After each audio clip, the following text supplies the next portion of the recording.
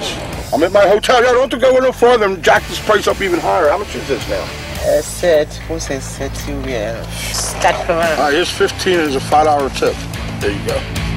All right. So I'm good. Uh, okay.